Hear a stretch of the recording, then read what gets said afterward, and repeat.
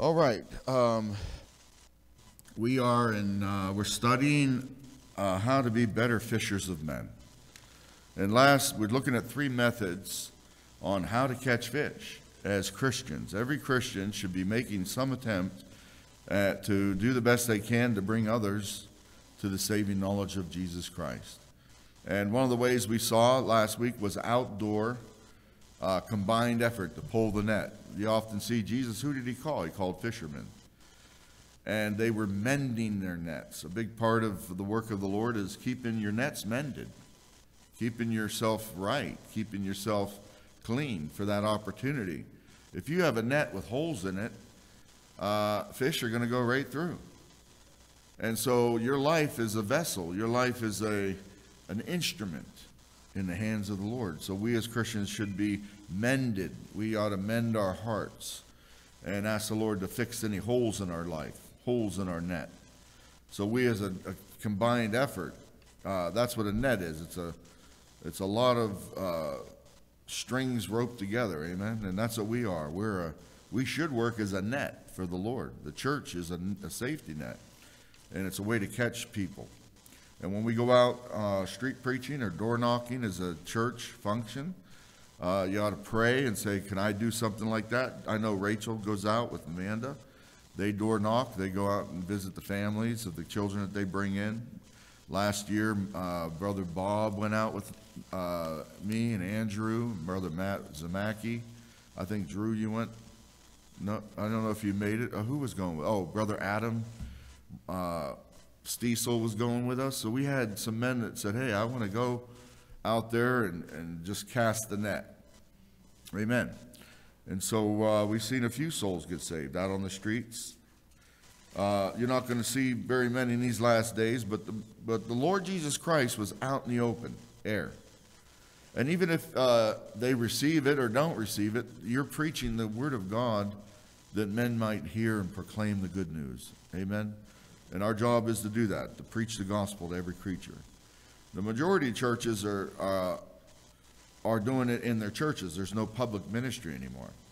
And that's a shame. The, the church used to have a great effect on the public. The church used to go out and reach the lost. And they had programs, even things like YMCA. They said, let's open up a, a organization where we can bring young men and women in and they can work out and they can uh, and they'll hear the gospel. We had soup kitchens all across this country. There's not as many. Uh, missions. Missions were big. People on the streets would get the gospel preached to them. That's public ministry, going out and reaching the lost. And uh, now the second way is, is more like a rod and reel, just one fish at a time. And that's what we're going to look at next. Uh, the second method is individual soul winning, witnessing the people that God brings into your life or you uh, cross paths with. And uh, look, uh, look at the verses here, and the, Jesus dealt with people that way. Look at Matthew 12. Let's pray. Father, thank you for this meeting, and we pray, God, you'd bless this Sunday school hour. Help all of us who have come here to get something from thy word, a verse of scripture that will speak to our heart about the need to be able to reach the lost better. Help us to be uh, better instruments in your hand, whether we go out like a, as the, uh, the apostles went out like fishermen with a net, casting it in and catching 153 fish at one time. Uh, Lord Peter caught 3,000 in one day, uh, souls. We pray that, Lord, uh, you would use us in any capacity, whether it be uh, just a rod and a reel and just, or just a cast net, whatever me method we can use. Give us wisdom on how to catch fish, and we pray it in Jesus' name. Amen. Jesus said, I'll be, make you fishers of men. That's what we're talking about. Look in Matthew 12. If Jesus wanted us to follow him, he was a good fisherman. Uh, he did a good job. He's our example. Matthew chapter 12. And a lot of times the Lord dealt one on one with somebody. You'll see that all through the Gospels. Matthew chapter 12. And look at verse 11. And he said unto them, What man uh, shall there be among you that shall have one sheep? And if it fall into a pit on the Sabbath day, will he not lay hold on it and lift it out? There's a picture of salvation. It's just one. You see the word one sheep. Uh, the Lord's focusing on you uh, need to pray for one sheep. It, that might be your own child in your own home. Amen. God may give you uh, the opportunity to lead your children to the Lord. That's a blessing. That is a great blessing. I was able to lead Colin to the Lord uh, while we would have, uh, every night we'd read uh, the children's Bible. And he was about, he was nine years old, and we got to the Passover. And I went through there and I explained how that's the blood of Jesus on the doorpost of the heart. And I said, the death angel is going to come someday and destroy anyone that doesn't have the blood of Christ. And he goes, Oh, I don't want to be destroyed. I said, Well, you don't have to be. You're a sinner? He goes, Yeah, I know I'm a sinner. And I said, Well, you need to take the blood of the Lamb. And he said, I want to do that. I want Jesus. And he got on his knees and he got saved in our apartment in Brooklyn, New York, nine years old. Um, a little while later, about two years later, we were traveling and uh, we were down in Dillon, Montana, and I was getting Dina a birthday gift. It was in July, and Aiden was pulling on my sleeve, and I said, "Leave me alone. I'm busy." He's like, "Papa," I said, "Leave me alone."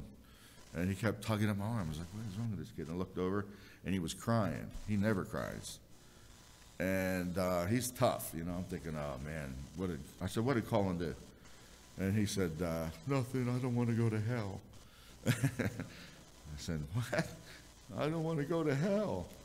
I said, Why do you think you're going to hell? Because I was reading the, this booklet with Colin in, my, in the room, and it shows him going to hell, and I don't want to go there. I said, All right, let's go. And I went into the room 101 and Comfort Inn in Dillon, Montana, and showed him, went through the gospel track. It was, This was your life. You know, I, I said, Look at these verses here on the back. I said, Do you know you're a sinner? You know what sin is? And went through the Romans Road. And he said, yes. And I said, you don't, you want Jesus to save you from hell? He said, yes. So we got on our knees and he got saved. There's opportunities, amen. You'll be surprised. Some people don't even lead their own kids to the Lord. I mean, that's a shame. There's fish right there, your own kids. You ought to lead your kids to the Lord.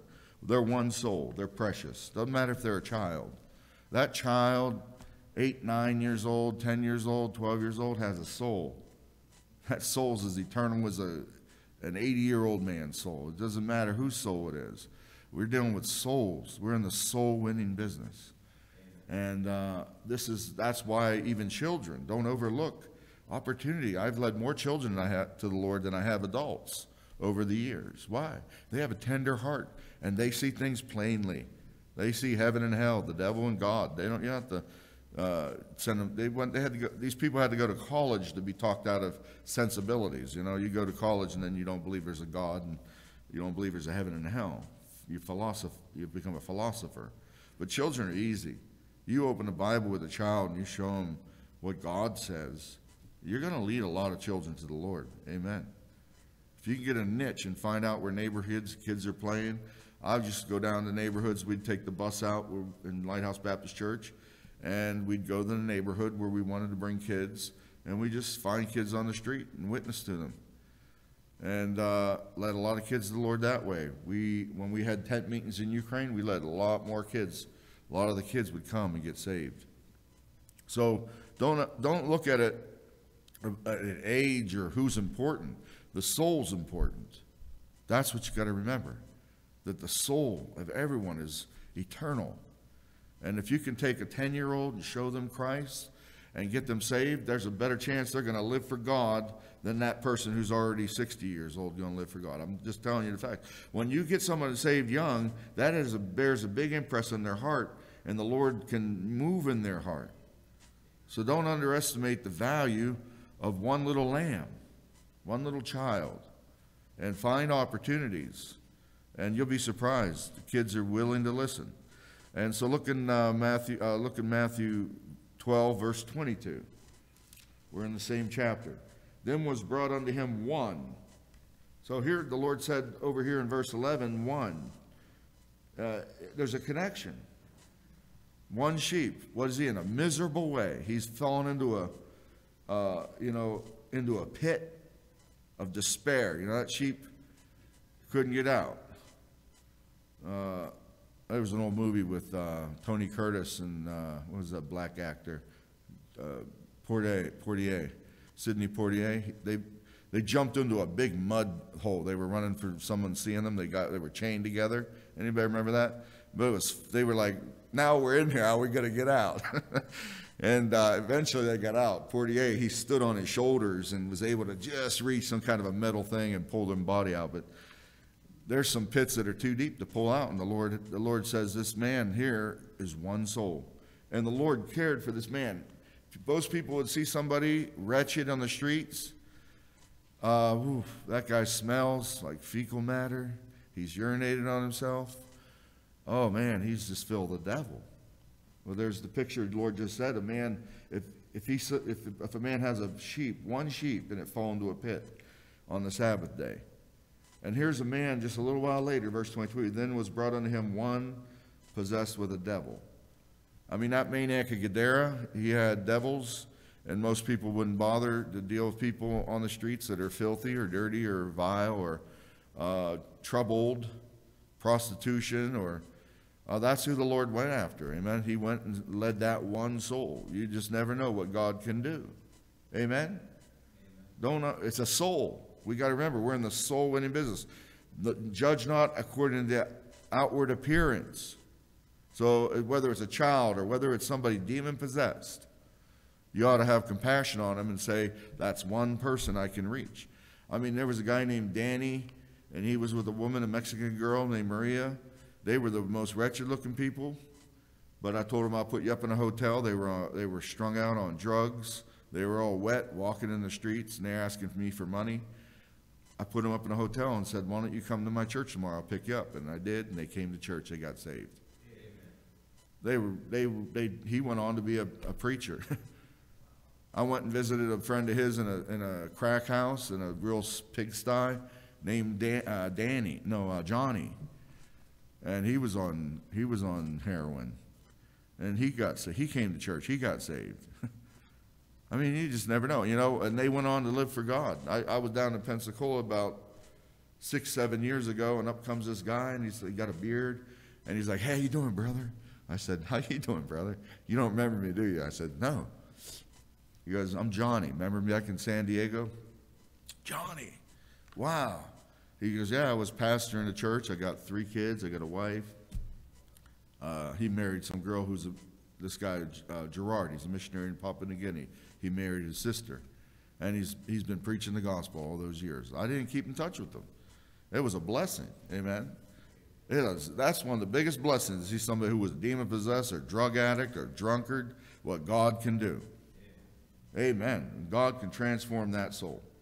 Don't underestimate what God can do. When we go out soul winning, don't say, oh, that, oh, I better stay away from that person or God can't. That, that. No, man, God can save anybody. That's the first thing. We got to realize if we're going to win souls, we, we have to believe that God is able to save the soul to the uttermost. That the most wicked and vile sinner, like that maniac, if Jesus could touch him then, he can touch him today.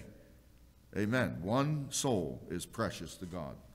That's what it says here. Then was brought unto him one possessed with a devil, blind and dumb, and, and he healed him, insomuch that the blind and dumb both spake and saw. And all the people were amazed and said, Is not this the son of David? I mean, that's what's amazing when God will take a sinner and transform that life. Amen? It's an amazing thing. Why? It ought to be amazing to you because God saved you.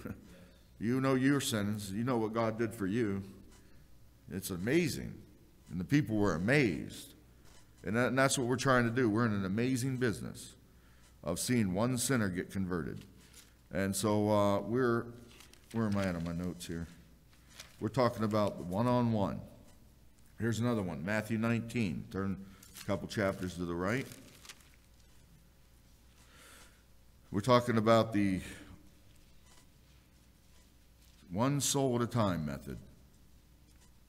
One person. That's really the only way you can win souls. You have to take, even, you know, even though 3,000 got saved on day of Pentecost and later on 5,000 souls got saved, that's a rare thing. And that's a blessing. Amen. Sometimes you have big revival meetings and Billy Graham would preach and you'd see hundreds of people go forward and, and many of them did get saved. Because I've had many a brother say, where'd you get saved? I got saved at a Billy Graham crusade.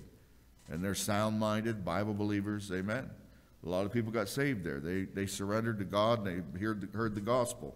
Back when Billy Graham, he preached the gospel. Amen.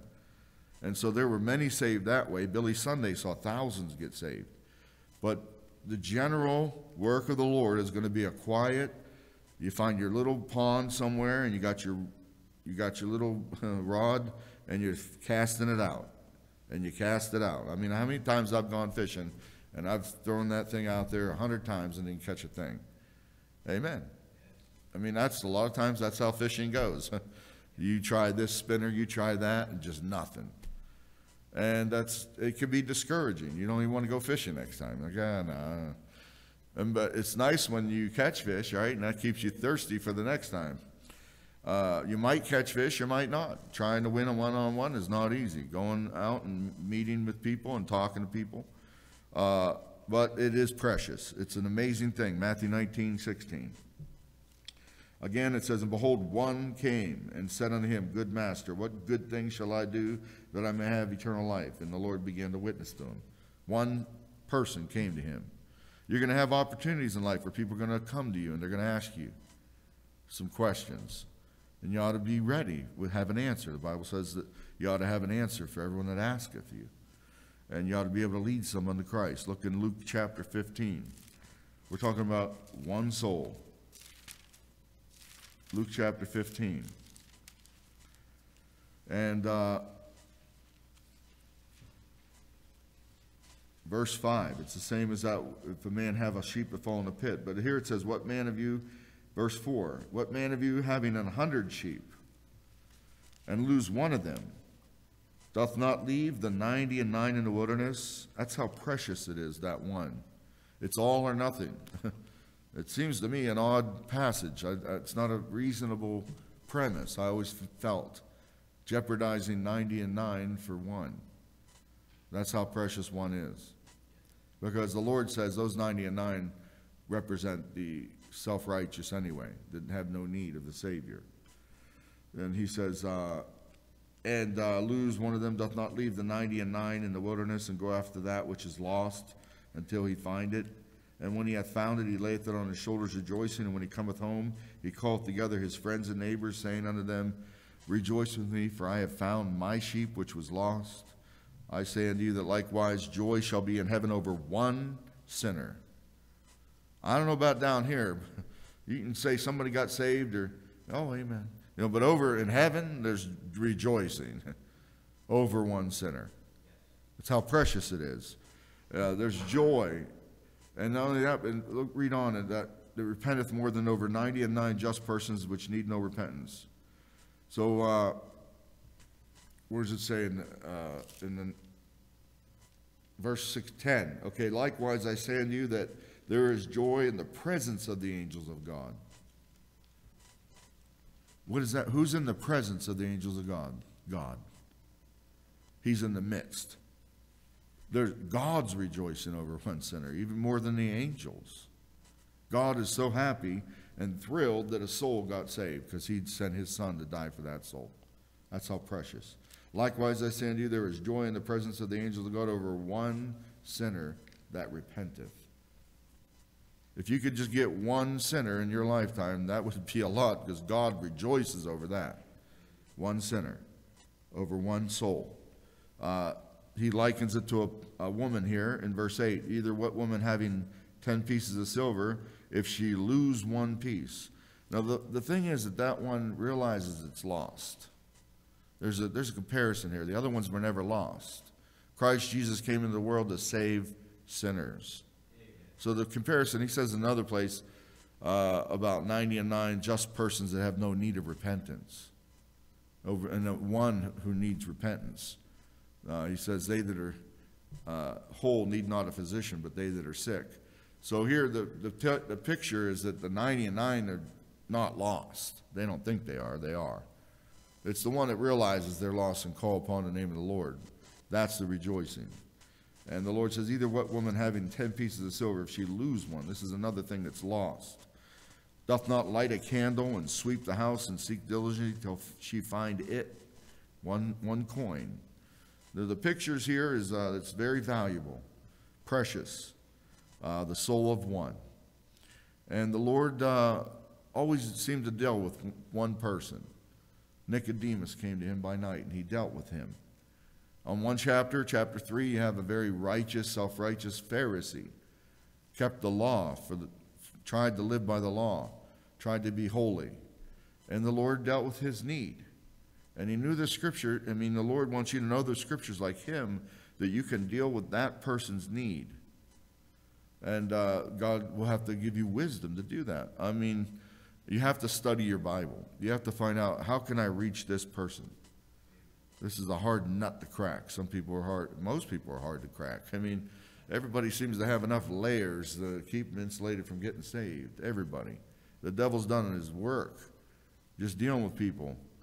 Uh, they've got so many uh, excuses and reasons. What about the, you know, the African? What about the Aborigine? What about, you know, men wrote the Bible and, uh, you know, I, I pray every night. I've, man, you could go on and on. If you try to win souls, you got so many ways that people just do not see they're lost. And to get them to see they're lost is, the, is a hard task to show them. And that's why children are great because they believe the Bible. They'll hear the Bible and say, This is God's Word. Problem with men and women as they get older, they begin to listen to the humanists and the liberals and the, and the modernists and all these people that have attacked the Bible. And so they start to have doubt as they get older. The older you get, the harder it is to get saved. Statistically, boy, if you hit 70 and you're not saved, man, it's like one in a million your chances of getting saved. It, it just gets harder and harder to lead that one soul to Christ.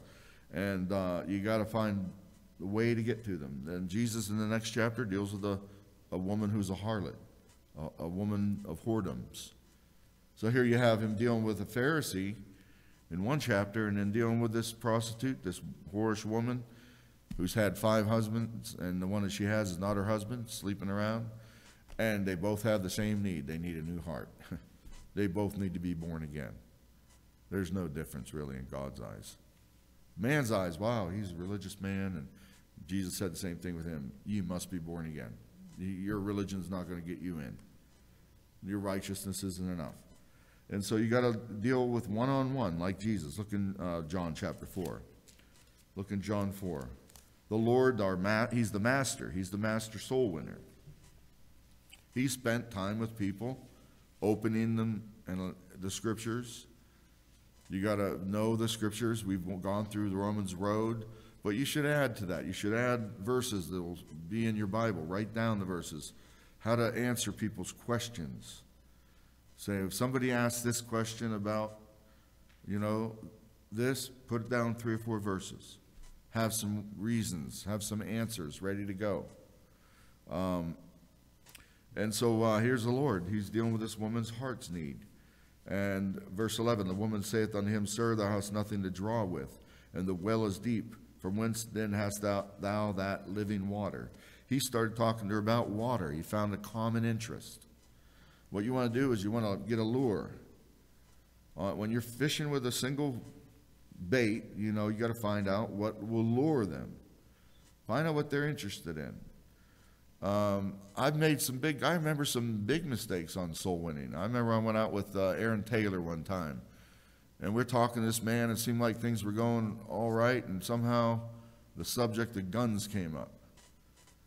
And he seemed like a good old boy. We were down in Mississippi, out on the front porch, and Aaron started talking about guns, and he's a pastor down there and the Second Amendment. This guy was adamantly against guns, and the whole conversation we were we was getting we were going down the Romans Road, and then he should have just said the cardinal rule is if it's not dealing with their soul and them getting saved, just avoid it. Just say you know that's a good question, but can we get back to that after we're done? That's what you need to do.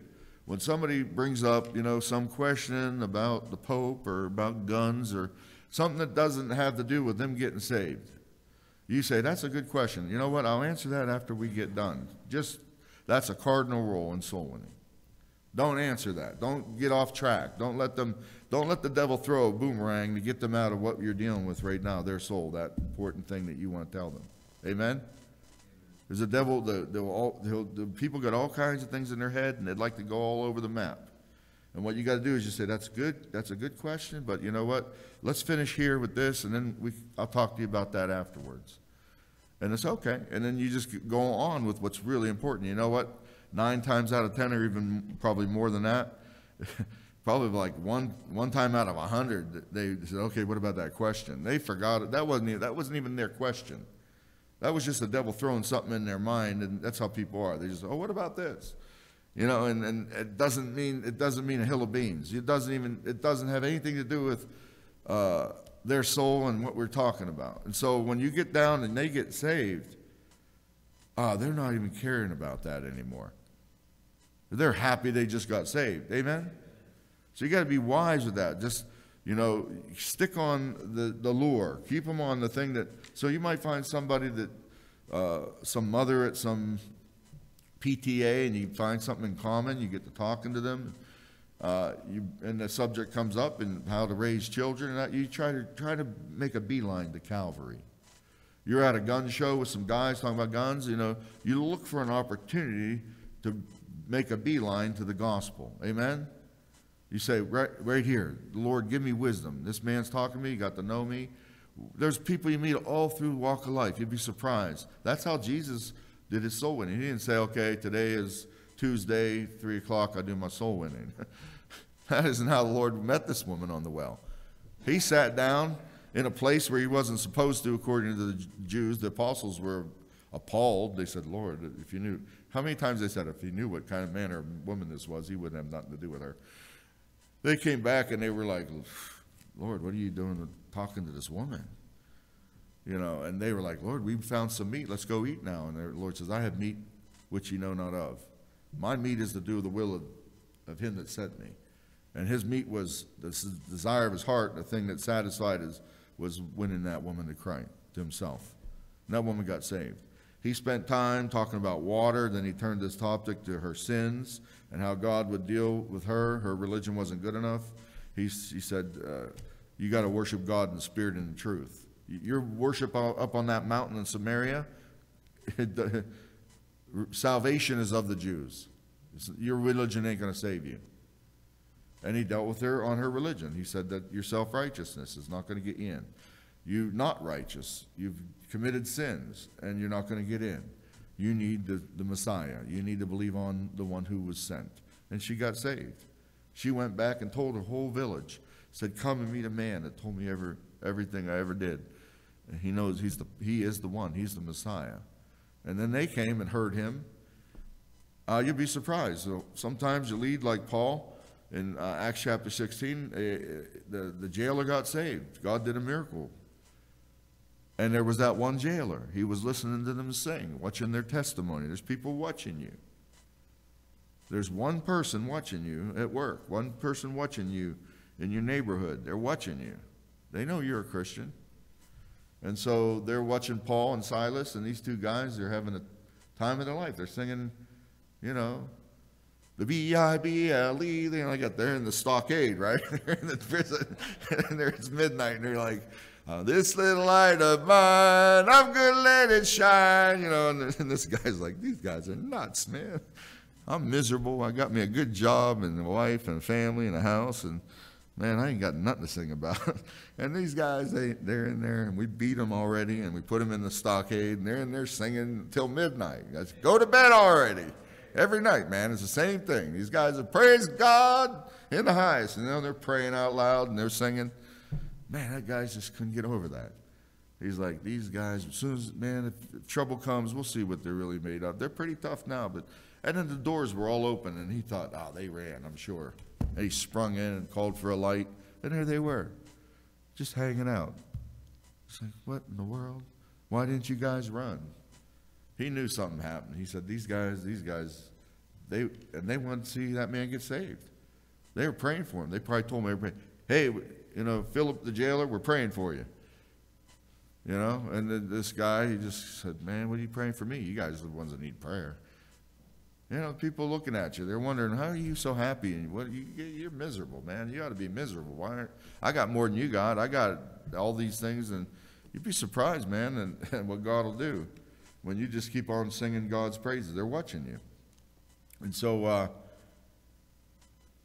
that jailer got saved. And what happened next? It says, he asked, he said, uh, Sirs, what must I do to be saved? He wasn't talking about his body anymore. He's talking about his soul.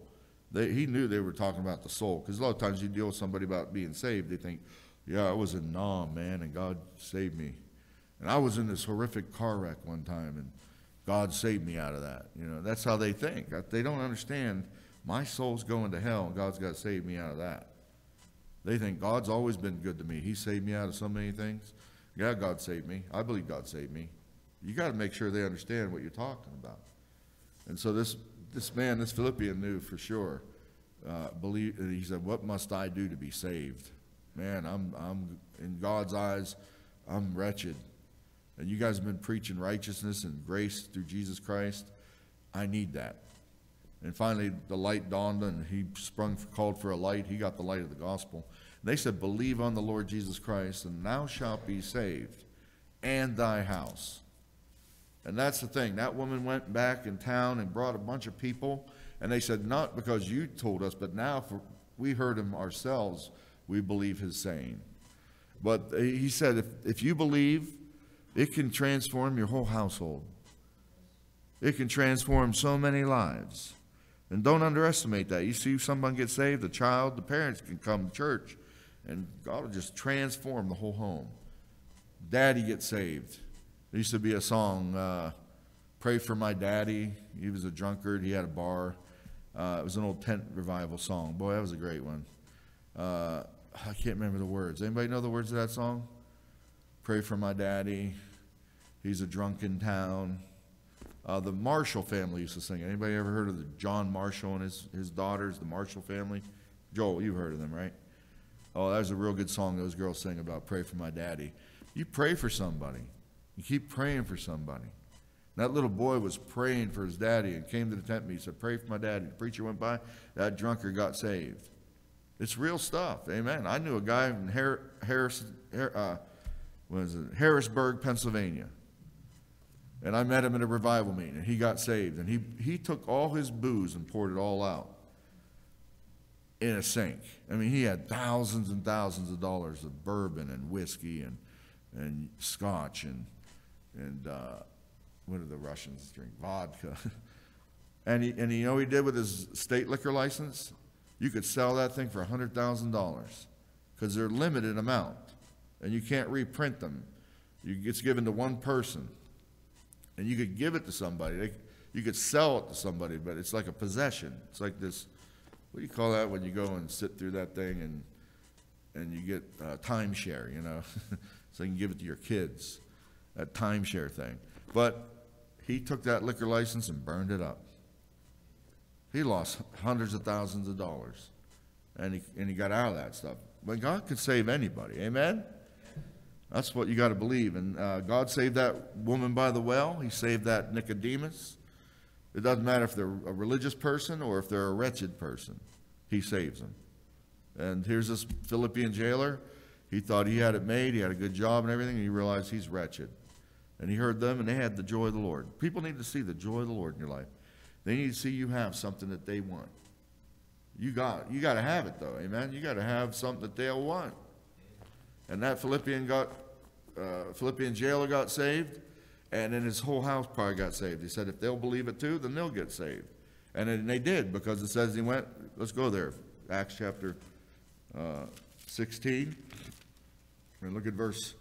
This is where he asks the question 30.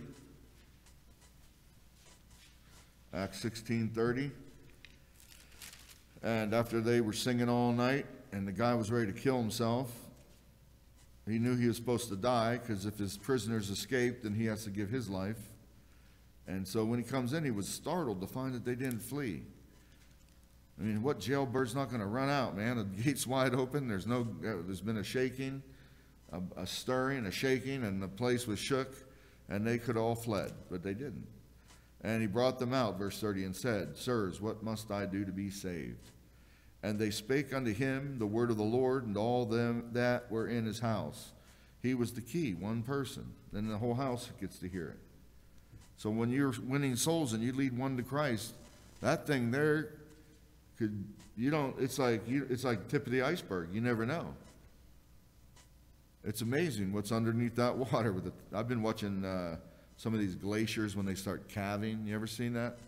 And th- I seen one that was the size of Manhattan. Some guy was recording it. I mean, the whole, once it all started going, others started toppling. And this huge iceberg come up out of the water, like upended and looked like a whale. And, and you just like, if you could just see one soul get saved, you never know the domino effect. How many lives are changed in generations to come? Don't underestimate that. What one soul can mean. The Philippian jailer, his whole house got saved. It says, and and, and, and he took them that same hour of the night and washed their stripes and was baptized, he and all his, straightway. So he got saved and all his got saved because they all got baptized right away, straightway. And uh, just no telling what God's going to do. Don't, don't uh, think it's a small thing that one soul got saved here, one soul got saved there, on a in church or wherever. You go out, you uh, work with people like your ministry, Amanda. You go knocking on doors with the, Rachel, say hi. We just wanted to know, and, you know, and just get to meet the parents. God will save through them kids. They hear stories from the kids. They see the results in the kids' life. Uh, keep it up. When we street preach, take somebody aside, show them the Bible. Even though we're out throwing out the net, you still got to go one on one. You still got to get call. You can't be like, oh, I'm out here with everybody holding a sign. If somebody walks by, try to put a lure out there. Say, hi, how are you this evening? And get a conversation. See if you can stop them. Get them to stand still. That's the hard thing.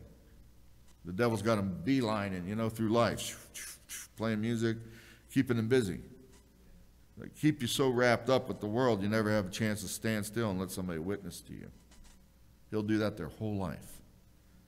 Just to get them to stand and hear. That's what it says in John chapter 2 about, I mean, John chapter 3, I think the, the, the, uh, the bridegroom standeth and heareth. You can't get them to hear if they don't stand still. People are so worked up. I mean, it's a frenzy, the world. Keep them so wrapped up. You hear what I'm saying? You got to get someone to stand still and sit down for coffee. Just whatever you can to stop them. you get that fish that you can see the lure. Stop. You're swimming upstream. Just slow down. Hey, over here. We're trying to catch fish. And you got to get them to see the sparkling or get something to catch their attention. And you got to have a life that'll shine. Paul had that in that prison. That Philippian jailer got saved. He had a, a record, had a testimony with that man, and he got saved. And then his whole house got saved. Amen. Isn't that a blessing? I mean, there's a lot of you have had that experience. Somebody, Tristan, his grandfather, he was a Christian, and he witnessed, and Tristan got saved. He went to church with him, right? And when he died, didn't you get saved? Wasn't that right when the day you got saved? Was it like right after your grandfather died?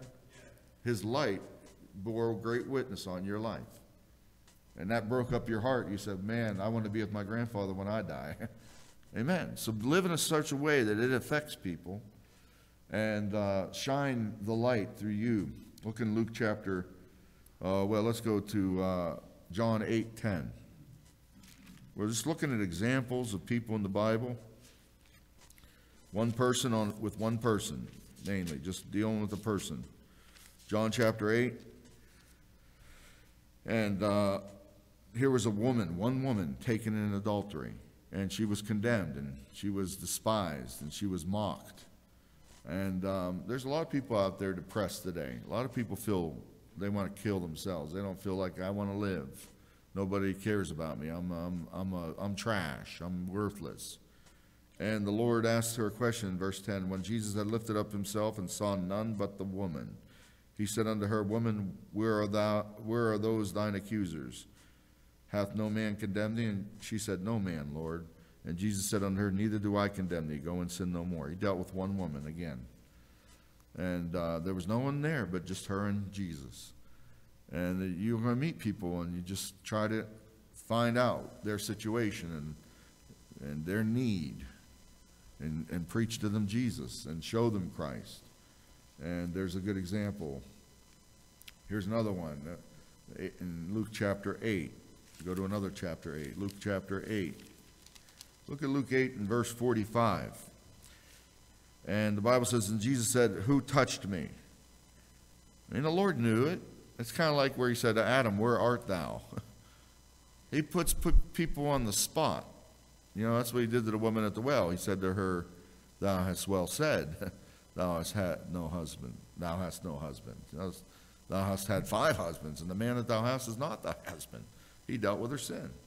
And this, this woman here, she come up and sneaks in, and she feels timid, and, but she wants to be healed. She tried everything. I don't know how many years it says. Um, verse 44, uh, verse 43, and a woman, a woman, one woman, having an issue of blood, 12 years, which had spent all her living upon physicians, neither could be healed of any. she was in the crowd, and we go out there, there's a crowd of people, but there's just one person in that crowd, Lord saw. The Lord knew. There, and she had a need, and the woman having an issue of blood 12 years. Verse 45, and Jesus said, Who touched me? When all denied, Peter and they that were with him said, Master, the multitude throng thee and press thee. They want to criticize the Lord. Eh, that's just funny. The people don't understand when the Lord says something, and they want to rebuke him and put him in his place. And throng thee and press thee and say, and sayest thou, Who touched me? Lord, are you, are you normal? Are you in your right mind? They don't know who they're dealing with. He's the God of heaven. He knows everybody in Kalispell. He knows what they need.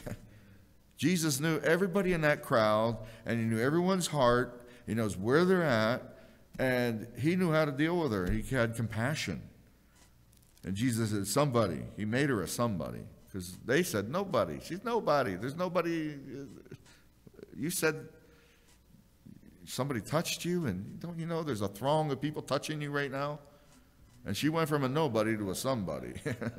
That's what happened to you when you Jesus touched you or you touched him in his garment. You were a nobody, and you became somebody. and you had an issue, and God dealt with your issue. And Jesus said, Somebody hath touched me, for I perceive that virtue is gone out of me. And you got virtue.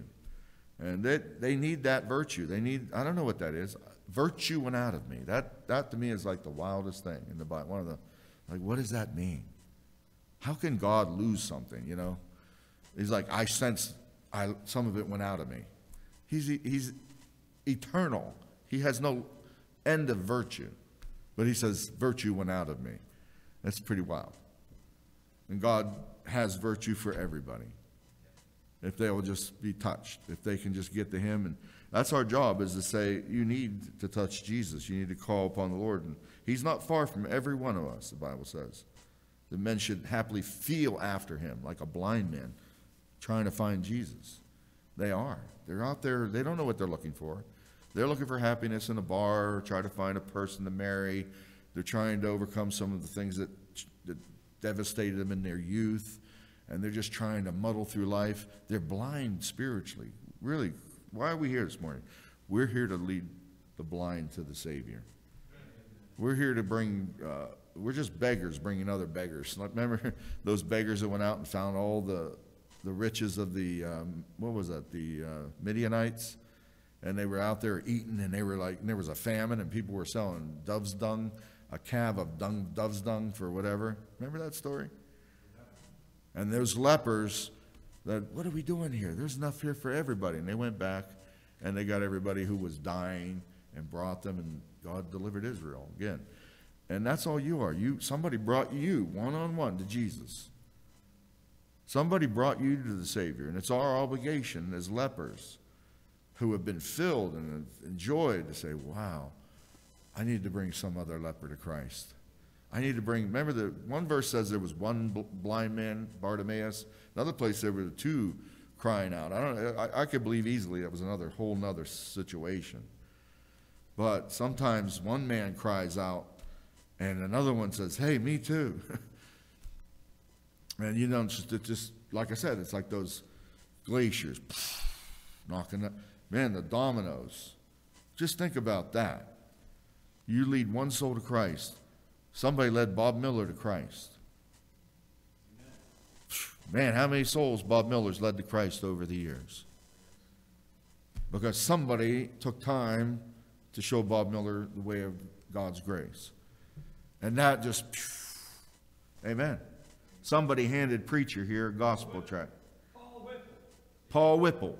But he got witnessed to by several people. Out on a street, he gets a gospel tract. Then he's in the, in, he's laid up in the, in the infirmary, and somebody witnessed to him there too, I think. And it was like God was going bang, bang, bang. You might think I'm the one trying to reach it. God might have had three other people go to that person before you got to them. You might just be a series of people saying, Hey, would you read that? Man, I just, somebody was just telling me they were praying for my soul the other day. My mother's been saying I can get saved. You just don't know what, you, what that might do. And somebody witnessed, and somebody witnessed, and then he read that thing how many times? Three times? Four, five. he got reading it over. Did I get this straight? He got saved. How many souls did Nathan Bemis lead to Christ over the years? So it's you say, well, we're living in the last days, and no, things haven't changed that much. It's been the same way since the days of Adam. Fornication, drunkenness, drugs, adultery, cheating, stealing, man hasn't changed. We, we need to be aware that we don't blame the world for their lost condition. They've always been lost. Amen? We're just not very good at fishing. You say, well, you know, man, the fishing today ain't what it used, it used to be so much better. Man, there's still a lot of fish out there, out in that lake flat. There's still fish all in that lake, uh, that river. There's fish. You just got to go out and you have to work and catch them. But they're not going to jump in your boat. And so uh, here's, here's an example a woman who had a need, and Jesus cared about her. The whole, the rest of them couldn't see her through the crowd, and that takes perception. Um, it takes a burden. It takes care to care about souls. It really does. It takes a, uh, something that God has to put in you to see people as souls. I mean, it's so easy to forget. You're going about life. You go to the bank. You go to the gas station you, you uh, talk to the cashier, you, and you see bodies. You see people with brown eyes, brown hair, blonde hair, blue eyes, a woman, male, female, piercing. This one here's got a suit on. This one's, you know, you just see bodies. And it can get that way where all you do is the rest of your life, you go through life just seeing people as just bodies and see their body. But you gotta, you gotta pray, God, open my eyes to see the soul. And you got to keep doing that because it's, you can get to where you forget. You're, there's a soul in that body. And you have to say, God, let me see them as souls. It's not, it's, it just doesn't like one time and then everything's like your eyes are open. You got to pray that all the time. You got to say, Lord, help me not to forget. Help me not to forget. These are souls in need. And uh, this woman had a need. And look in uh, Acts chapter 8. Acts chapter 8. Here's a man that was like that. He was sensitive to the Holy Spirit. He had a burden for souls. His name was Philip. He was one of the deacons that were chosen, one of the evangelists, one of the seven, the Bible says. And he just had a sensitivity. If you're going to be a soul winner, you got to be, I guess you got to think like a fish. They, I I mean, when I hunted back in Pennsylvania, they called me the deer whisperer. Because I would round up deer and chase them to the other hunters. I had this I had this knack, you know, where I would just chase the deer and ground them up and then do a drive. And I would use all kinds of methods. And I would, uh, you know, be doing grunt calls and bleeps and, you know, me and eh, eh. I can't do my throat's dry right now, but and I'd run up a hill and I'd trick them and chase them, and finally I'd corral them. One time I had about 20 deer, and I ran them right down their valley. And I said, I called them on the phone, which is not supposed to do, and I said, Dina, get ready. They're coming right down your way. And Kevin and, and Eddie, tell them all, let them know. And she's like, oh, it's too cold. We're in here having hot chocolate. And I was like, I worked for three hours to get them deer rounded up for you guys. But in a sense, you got to be a soul whisperer. You got to pray, God, you know, you heard of horse whisperers? People that can sense the need of that horse or a dog whisperer. And, you know, you could fight the dog or you can learn how, what works with the dog. What's the dog want? You know, he wants that little snack in your pocket. You got to learn to show them this is not acceptable and show like there's something about people have a need in their soul they don't even know what it is, but you have the answer. And you could be like, Lord, help me to be a soul whisperer. Help me to be able to bring that soul safely to haven to Jesus Christ. And it's like learn how to train a horse. Um, I, horses don't like me because they can sense, uh, you know, I'm nervous because they've bitten me before. But I tell you, Jody, they love her, you know. She walks up to them, I'm sure they don't bother her at all, and they listen to her voice. But I used to have this big red horse, man. I raised 12 race horses, and I'd be cleaning his hoofs out, and he'd reach back and bite me. And I'd go up and punch him in the head. We did not get along. I was not a horse whisperer. I had another one. He, he, I opened up the gate and he ran, and I caught the rope, and, and I went down my hands, and there was a knot at the end of the rope, but I was now behind the horse. And he looked back, and he, oh, they're smart. And he went, bam! And he threw me in the air. he kicked me good. They, they're, they're, they're naughty. Horses can be naughty if you don't show them who's the boss. And uh, they'll get away with stuff. But you have to be a horse whisperer. You got to be a soul whisperer. You got to say, Lord, show me how to corral that spirit. Help me, help me to show that soul what they need. And this man was good at that. As we close here, look at this man's. We're talking about dealing one on one with people this morning, how you can be a better soul winner. Get them to stand, get them to find a lure. What are they interested in? Show them, think about how precious they are, like Christ and make them a somebody. Show them how precious their soul is to God. In Acts chapter 8, and it says in verse 26, here's a man, Philip. He's going about, and the Bible says, And the angel of the Lord spake unto Philip, saying, Arise and go toward the south, unto the way that goeth down from Jerusalem unto Gaza, which is desert. Nobody wanted to go to Gaza. That's down there, that's where the Philistines live, and he went against the grain, but you know why? He was sensitive to the voice of the Holy Spirit. It says, and the, and the angel of the Lord said, he spoke to him, Lord spoke to him, and said, Go down there. Nobody wants to go down there. Go where no one else is fishing. Listen to the Holy Spirit. There's so many opportunities you'd be surprised and say, Lord, where would you have me to go? And he arose and went. He obeyed God. I mean, you got to go. If you're going to, the first two letters of the gospel are G-O, go. And he went. Um, and behold, a man of Ethiopia, a eunuch of great authority under Candace, queen of the Ethiopians, who had the charge of all her treasure and had come to Jerusalem for to worship, was returning and sitting in his chariot and read Isaiah the prophet. Then the Spirit, again, he listens, saith unto Philip, Go near and join thyself to this chariot. And that's boldness, and it comes through the Holy Spirit. You got to be bold to go ahead and approach people. This man wanted somebody. He said, How can I understand the Bible? Verse, uh, he says, uh, Understandest what thou readest? And um, in verse 30, and Philip ran thither and said, Understandest what thou, what thou readest? You know, ask somebody a question. Get them talking. Get them talking. Say, uh, oh, you read the Bible. Good.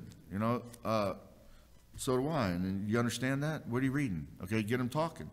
And he said, How can I, except some man should guide me? And he desired Philip that he would come up and sit with him. He got closer. He opened up. Uh, there's a breaking down of that uh, barrier. A stranger ran up to me. And he just started a conversation, and he seemed to relax a bit. He said, Come on up. Sit up here with me. Uh, can you show me what this means? And then he opens his heart more and more. So soul winning is like, like I said, it's like a soul whisperer. you got to know this person's not ready right now. They don't want to talk. Okay, then don't push it. Try to just plant some seed and leave them go. So I've had plenty, but you just don't. They're not ready. This guy's ready. You got to be ready if they're ready. And say, Lord, the fish are biting. Man, I got my pole, got my lure, I'm going. They're biting. There'll be times when they're biting and use the opportunity. Here they're biting. This man was ready. That means sometimes the fruit's it just falls off the tree. You just touch it, right? And it's ripe. So you pray for that. Lord, give me the opportunity, give me the sense, give me the discernment to see when the fruit is ripe. And where's my heart? That I might be ready to glean that, that I might be ready to catch that fish, catch that soul. And so he did. And he gave him the simple gospel. He didn't force it. He explained Isaiah 53 to him. He explained the scriptures to him. You can explain the scriptures to people very simply. Go to Romans, show them the grace of God, show them that the Lamb of God was shed, his blood was shed for you. We're all like sheep have gone astray, and then bring him in. And that's what happened here. And the man said, I believe. And Philip opened his mouth, verse 35, and began at the same scripture and preached unto him Jesus. That's one on one preaching. And he, uh, and he got saved. He said, I believe that Jesus is, is the Son of God with all my heart. And he went down and got baptized after he got believed. So let's, let's go ahead and uh, pray that Lord would give us spiritual discernment this week to be able to lead someone to, to Christ. That may be their last chance, too. You just never know. There have been opportunities God gave me, and I passed, and person died. And, uh, or some I've witnessed to, and they say, come back later, and I found out they died. And so uh, let's, let's realize that souls are perishing. Amen. Let's pray. Father, thank you for the continuing study of how to win souls to Christ. Help us all, Lord, as Christians, Lord, to be desirous, Lord, to be sensitive to the Holy Spirit when He says go, where, and go where, to what direction. Here He said to Philip, go south to the way of Gaza, and he obeyed. And then he saw a eunuch sitting in a chariot, and he says, uh, go to him, and he ran. And the, and the eunuch talked with him, and he opened up to him. And Lord, we pray that you would show us uh, people along our path that we would be able to minister to, like this evangelist Philip. We pray that you'd open hearts this week, and we pray that the Holy Spirit would make us sensitive and tender to the needs of those that are lost. And we pray it in Jesus' name. Amen.